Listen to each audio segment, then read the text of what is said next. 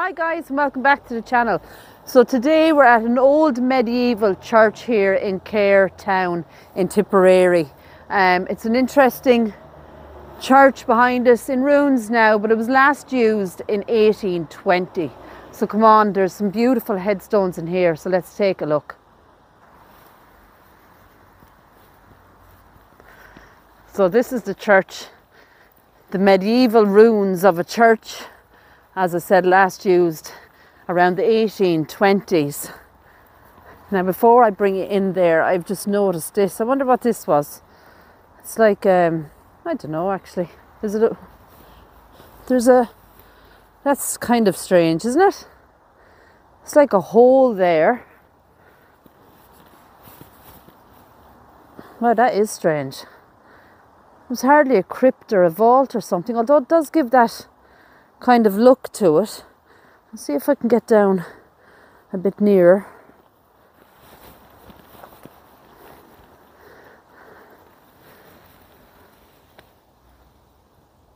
Oh. Gosh, there is. Stone slab there. Yeah, it's cemented up. So it definitely was.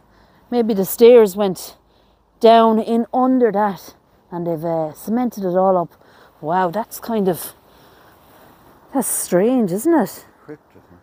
I think all of this area here that we're standing in now was possibly the entrance down into it. Wow. Right, so let's get back on the path.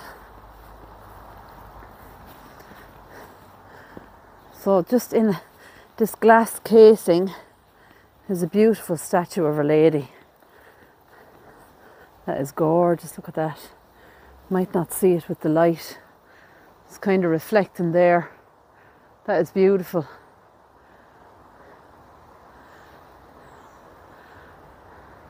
Now, what's interesting about this church is that there was once a dividing curtain wall which um, let Catholics and Protestants to have Mass at the same time but still be separated. So I've never heard anything like that. It's called a curtain wall. Look at the rails on that one. Wow, that's jeepers. There's a huge hole in there as well.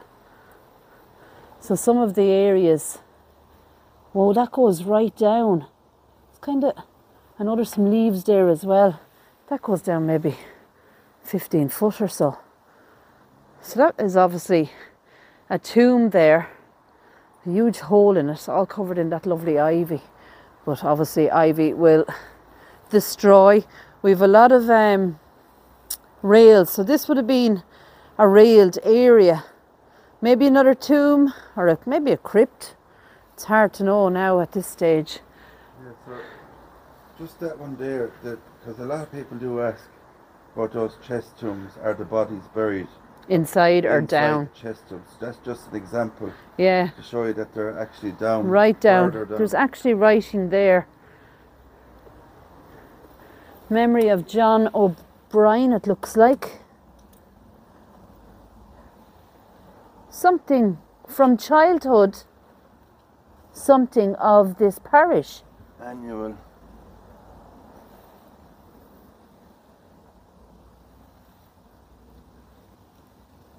And it? I don't know, This parish died April the 6th, from uh, childhood, 1820 something. aged, looks like 30 something there. 36 Wow. years old. Is there, a na- there is a name there, but it's quite hard to read. It looks like John, anyway. I think it's John O'Brien, but it says from childhood, and John then Breen, is it? O'Brien, or, or, sorry, O'Brien. O'Brien, but it says some from childhood, and then that word next to it is quite hard to read. But interesting to see that from childhood. Wow, look at that. There's something wrote, or was there something wrote in that maybe? No, it's on you. I wonder was that a vault as well? Maybe. Do you know we've seen those before where it has wrote the name, the family name on it, um, and then they go under these beautiful tombs. Lots of decorations on the side, but You can see as well it's falling apart. There is some sort of writing on top, but with the it just you can't Those types fade away. very very fast. I think it's because they're kind of um, facing the elements. Um, not really sure what this was. Would it have been the altar? I think it could have been the altar, yeah. It's very big and it's kind of at the door, so I'm not sure whether it was the altar. the altar would be up near the top of the church, wouldn't Yeah. At the window. Um, we've three tombs in here, so I'm guessing these are all the one family. We won't be able to read it because the wording is actually uh, it's reading that way, so I'm not able to read backwards. Unfortunately, I haven't learned that ability yet of reading backwards. Have you? No. so yeah, it's kind of silly that they're faced the wrong way. Um, you can just see the beautiful structure of the church itself absolutely gorgeous. And I'm presuming that these headstones would obviously have come after uh, the church became abandoned. Erected by the Lady Margaret Charteris. Charteris and some and uh, something of his friends to the memory hmm. of James John B. Roach, I think it is, who was for 40 years The something faithful land steward. steward of the Glengall Glengall family. family. Right, guys. So there's another connection. Grave Visitations has a few videos on uh, Glengall. the Glengalls, and this is another connection. Only this is one of their stewards. So it just Not the seems Glengalls, but the Earl of Glengall. the Earl of Glengall. Uh, so this is like um, a whole circle that we have been finding over the last few days with this name. These, this here is the steward. I'm interested to know if we can read uh, Earl of Earl of Glengall. Wow to the memory of his faithful. Oh, we can't read it. Value. Faithful. Something, something. Oh my God. As a Pierce V. B I A. uh, Yeah, hold on. Um, native of France. France, who departed this life um, November. November 1844, Just go back up to this. age 52. P I. Pierre. Pierre, Pierre Vial. Vial. Wow. That's French. So another connection, and I bet this also. I don't know why they are like this, one on top of the other. This one we're not going to be able to read because it's it's just all behind the so they were the headstone. Yeah, I can see Glengall again. Memory of something, something. Looks like age 66. Oh, servant there again. I can see servant. Wow. so they were faithful to the family. Wow, that is fantastic. So you're going to have to watch uh, Grave Visitations channel as well to get the whole circle that we have been finding over the last two days here in Tipperary. It's been amazing. Um, so much history here in Cahir Town. Look at that beautiful window. Now I have an interesting uh, little man here on the wall. Look at that.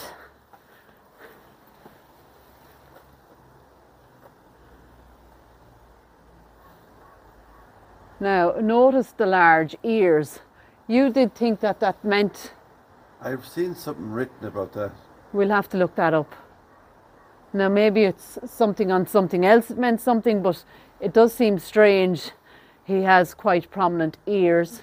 A monk, is it? I don't know. We'll have to look it up. This looks like it was the water font just under that stone. I don't want to move the stone. It obviously has been uh, sealed for a reason, but under that stone there would be just a little, um, almost like a sink, I suppose, where the water would come out. So it's either a font or where they washed their hands. Um, that's that beautiful window. It's actually stunning. That window is. But this place here, just look at that. How amazing. I actually don't know when this place started, when it began. Um, but we will have to see on further research if I can find that. I'll put it up over the um, video itself. So you come out then and you've got all these stones. Now to the eye right now they all look quite similar but believe me there's a couple in here that are absolutely amazing. Um, look at the writing here. Erected, oh no, Thomas Thomas Quinn Quinn, it's very hard to read. Cahir. Um, Is there a date? memory of his mother. In memory of his mother. That's just the end of Mother, I think. Quinn Alias. Dial. The part of this life is it the 18th or something there? 16. 26 years it looks like. Very hard to read, and with the sun the way it is right now. Yeah. Now there's more writing just there. Is that a date there where your torches? Go back down. 1718. Wow, 1718, guys. Um, looks like of David. And the rest then we can't can't read it. But to me this kind of looks like it could well be um, it's attached to the church, but it certainly looks like they could actually be buried right inside there. That is amazing. You can see the stonework. It's definitely big enough for maybe two coffins. That looks like it would have been a window, look. And a window ledge maybe. Oh look at this one. Prendergast. R.I.P. Woodenstown. That's all that's on that little cross. Prendergast. No dates, no first name. Prendergast would be the the surname. Wow, look at this. This is gorgeous here. That one is 1777. 1777, yeah. Yeah. Um, Cunningham. Cunningham. William Cunningham. 1777. And just, you'll notice there in the background, it's St. Paul's Church of Ireland. Church of Ireland, And there is an extremely interesting video uh, coming on Grave Visitations channel. If it's not already up before this one, you have to check it out and it will bring the full circle of uh, It'll explain these headstones. uh, yeah, here. and the attachment to them. Now there's a plaque here. Um, erected to the memory of who's this? It's it's like her husband here, husband John John something, died 1873, aged 72. 82. So it's like a a plaque or a memorial. We won't be able to get down that way now. There's an easier way around the other side, maybe.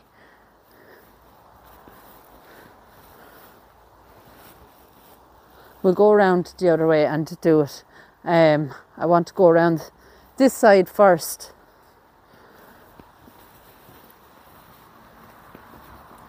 So, you can see on a number of these headstones we have the cross on them.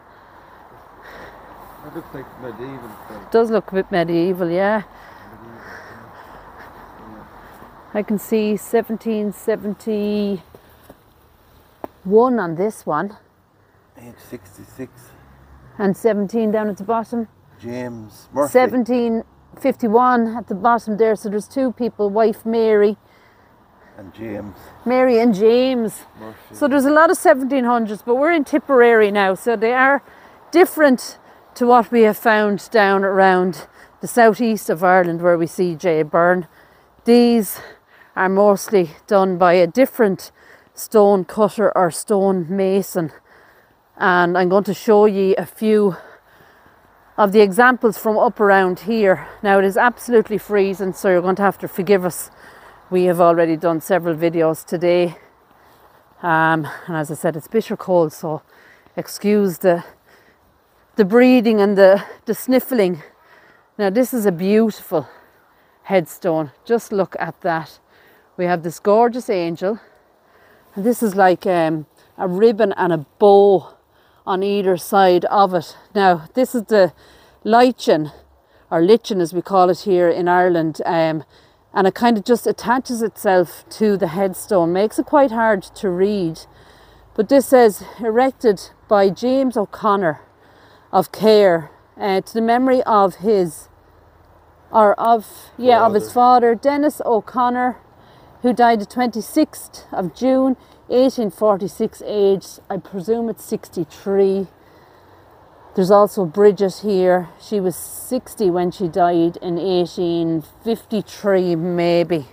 That is absolutely beautiful, isn't it? Beautiful stone, huh? That is gorgeous. And just to our right, there's this headstone. It's a double headstone.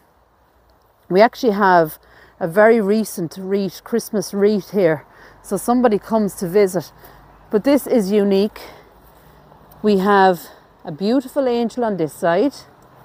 We have a beautiful angel on this side. And here, this angel stands in the middle. And this is for um, looks like a William Kearney. William um, Kearney, it's there. It's kind of reading across the whole headstone. M O R Moroni Moroni. departed this life June s- ni- 60, sorry, 1768, age 36. Also, her husband who departed this life 1770, age 70. Um, and also their son Nicholas, 1799, age 76. On this side, then it's Kearney. I think it's a Margaret Kearney, uh, wife to James Moroni. So husband and wife on either side. I see 1769 here. And then also second wife, Oh, Bridget Bridget Cahill. Cahill, I would say that is uh, 1791, age 30. Six. 36 is So it? he, what age was his first wife? I can't. His first wife was um. Uh, where is it? It's down near the bottom. I think it was. Bridget was it? Oh no, that was this. Nicholas. Um. Wife. Anne. Two. Anne Anne. Will Wallace. Wallace, Willis? I think it is. So Wife to William Moroni, who departed this life. So it says she was 1768, age 30, 56, sorry. 56 and she was 36. Yeah, it's kind of a crossover. So, husband and two wives. Maybe that's because we have the third. This is the wives on either side, and then the. Um, just stop the torch for a second because it's flashing. Two wives and the husband, possibly. That is beautiful. I haven't seen anything like that. I've seen these double headstones before, um, but that's the first um, of you know the, the lovely angels. So this one is 1760, this tiny little one, and it's John Dawson, uh, 1760, age 43 here. Wow, it's a tiny little headstone. It's beautiful. It said Jack on it now. Jack Dawson, yeah. Right, so this one on the ground here is absolutely stunning. It's the crucifixion scene like we have been seeing, but done slightly different. It's come away from this part of the stone and it's fallen down, unfortunately. Now you can see there Jesus on the cross. We have the ladder. We have two angels on either side. We have the sun and the moon on either side. Now the reading is very hard because it kind of goes starts here. We have some of the writing on this side. And then some of the writing on this side. I don't see a date here. It just says in memory of Thomas Jackson by his son on this side. I think it's like a poem or a verse. Another design on it here. But on the little headstone right beside it, look at this, guys. Let's read it first and then we'll take a look. Oh, actually, there is no reading, No inscription there. no inscription. So hold on. Maybe it's a footstone for this beautiful one. They're opposite each other. So let's have a look at this one first. This one is Jesus on the cross. Look at the lichen, guys. We have white and like a gold. We have two cherubs, two chalices, and then the writing by Thomas Jackson to the memory of his beloved daughter, Mary Jackson, who departed this life uh, the 9th of December 1832 um, in the 20th year of her age. Oh, she was very, very young. I hope you can see that. The torch is not really helping now because it's just flashing. But uh, just there. And just there. And if we turn around just here on this footstone, I believe this is, we have another beautiful angel and a cross underneath. And I do presume that that's what it is because um, there's no inscription on it. It's the same type of stone. It is, yeah. I think it is f the footstone and the headstone. That there is a beautiful scene of the crucifixion. This is also Jackson, but because it's kind of broke in two, it just makes it extremely hard to read. Um, we have alarms going off there in the distance. 1817 on this one, John Cleary, who died 18th 1820, age 76. 76 and then there's a Catherine alias Flood September 19th 1817 age 67 there is some sort of an inscription there. Actually oh look at it is. Actually we have the cross we have the serpent we have the sun and the moon and some chalices on either side as well it is making it very hard to see those inscriptions that lichen but uh, they are stunning Way off in the distance there, we can see that was an old jail. Not sure it's going to pick it up on the camera. Just uh, there. That was an old jail turned into um, Guest a guest house. The family lives there. The son still lives there. It's absolutely beautiful. Carrigain Castle. Wow, guys, look at this. Right here. So you remember our Jay Byrne and Dennis Cullen. This is, you know, stonemasons from this area, so Tipperary. Um, here we have the angel, the crucifixion. We have two angels. We have the ladder. We have the serpent. We have a skull and crossbones. We have the serpent, pliers, all the tools that were needed. Uh, the chalice, another chalice here.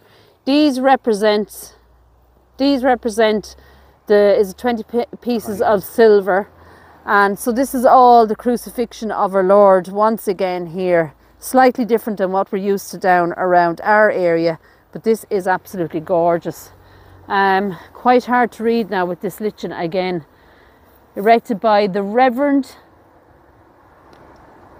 pierce Or Mahoney, it's a.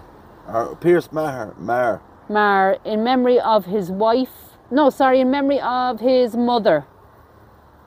Um, something Mar as well, alias. Margaret, is it? I'm not sure. Wife. Um, then it looks like Thomas Mar. It's obviously a list of Mars here. There's daughter. daughter there. Very hard to read with the lichen, isn't it? Very, very hard. Any date, 18 something. aged 63, it looks like for the last one. There's an 18 something down at the bottom there. 1851, it looks like.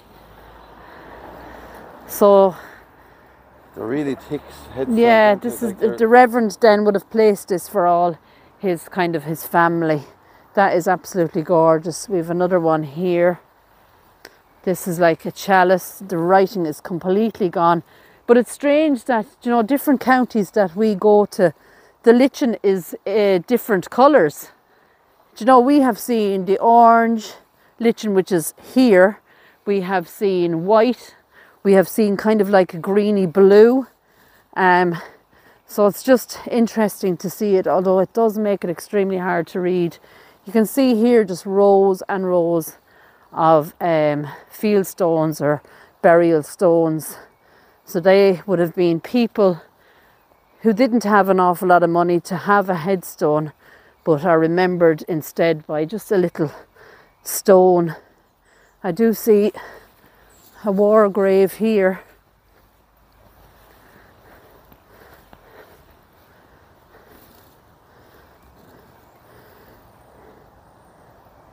Gunner 1026 Gunner P.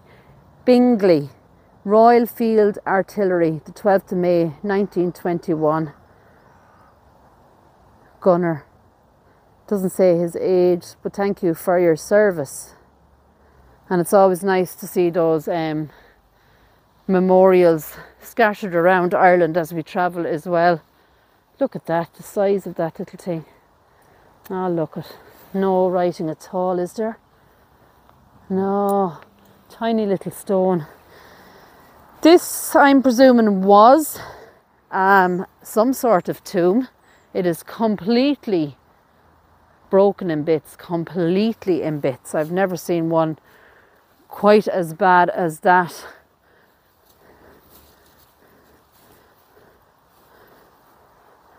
This one has a little crown on it and like a wreath. Writing is almost completely gone. I see 1876 there. It looks like Hollard. Holland.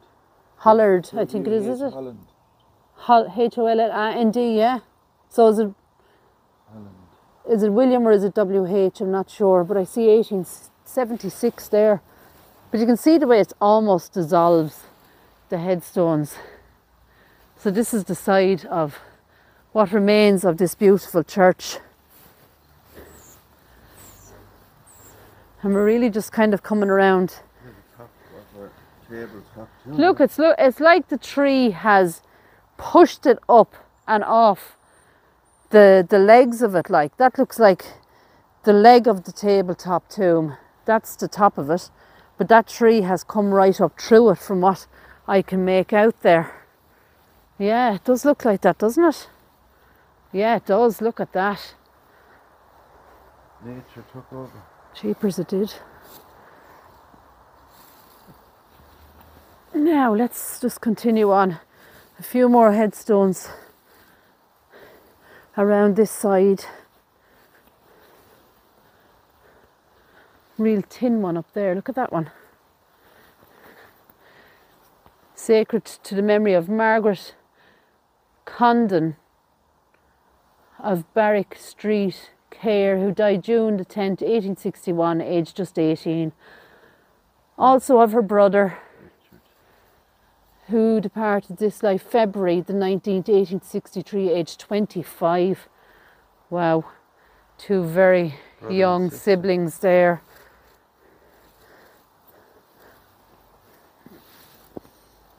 This one has no writing either. Look at the style of it. Beautiful. So this kind of bringing us right around to the edge here. Back into the entrance of the church. As we just turn around, see the beautiful mountains that surround uh, Cahir town, that gorgeous Church of Ireland. Very, very interesting story to that. And uh, brings us into the church again. It's huge railing here. Yeah, it's like Like all the the one, the gate. The gate there. Yeah, it's obviously all the one family in there. But as I said, it's the writing, you know, goes from the bottom up or from the top down, so I can't read it unfortunately. Tabletop tomb there. The writing just never really holds up. But just look at that. That is gorgeous. And we have then the three headstones here with connection the Earls of to the Earls of Glengall. Pretty amazing. You actually did find a grave in Wexford. Uh, an style grave, and it said he was a steward, Yeah. a young. Uh, you know, we have read a few stones now um, of where the family have remembered the people that have worked for it, for them, be it, um, you know, kitchen staff or stewards or butlers we found. Um, wow, look at this one. Erected by John Nolan in memory of his beloved mother who departed this life November 1847 in the 46th year of her age. Rest in peace. The above John then passed in April 1887, aged 59, and his wife Johanna, October 1900s, aged 57. Beautiful designs there, look at that. They are gorgeous. And that lovely bell tower still standing. And the little entrance then out. Right, so guys, that's it from Cahir Town. Uh, we have had an amazing tour of the uh, castles, the cemeteries, the churches, lots of amazing history. We've kind of come full circle now with employees of uh, the Earl of Glengall in here as well, and you will know what we mean when you kind of look at Grave Visitations channel for upcoming videos. The video might actually be out before this one, but um, we actually adore Cahir Town. It's just so pretty. Cahir Castle just down below. I've put a short up of that, so if you want to check that up. Unfortunately, it was closed. Um, but for now, guys, if you like this content, please subscribe. It's free. Um, for more uploads, hit the notification uh, bell that will let you know of future videos on this channel. And don't forget, as always, to give the videos a like. That helps uh, YouTube recognize the videos and push them out that little bit further. And we are growing as a beautiful community that we have as well, which is just fantastic. So if you're new, pop your name down below and tell us where you're from. But for now, guys, take care. God bless. See you guys. See you in the next one. And we'll talk to you all soon. Bye.